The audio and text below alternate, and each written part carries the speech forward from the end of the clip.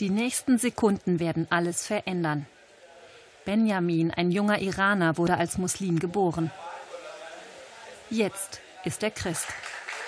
Getauft wie Jesus im Jordan in einem städtischen Schwimmbad in Hamburg vom Pastor der persisch sprechenden Freien Evangelischen Gemeinde. Der Übertritt zum Christentum im Iran steht darauf die Todesstrafe.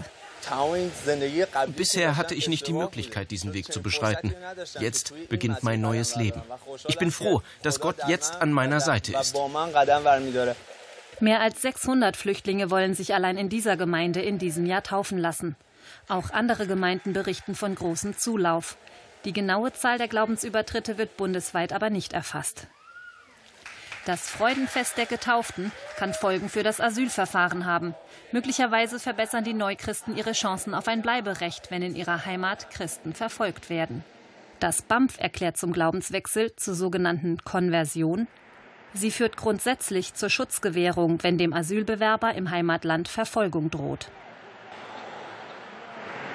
Doch warum jemand die Religion wechselt, lässt sich durch die Anhörungen kaum zweifelsfrei feststellen. Die Entscheider fragen zum Beispiel, wie lauten die zehn Gebote oder wie viele Tage liegen zwischen Ostern und Pfingsten. Gemeinden der Amtskirche sehen diese Praxis kritisch. In eigenen Glaubenskursen will man lieber selbst feststellen, wie ernst es die Taufbewerber mit dem christlichen Glauben meinen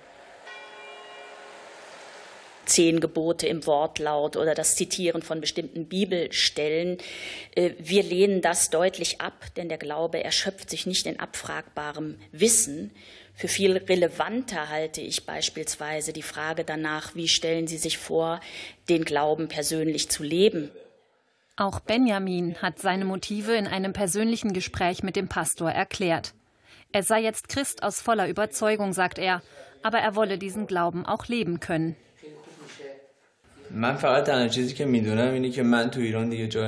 Mir ist egal, wo ich hingeschickt werde.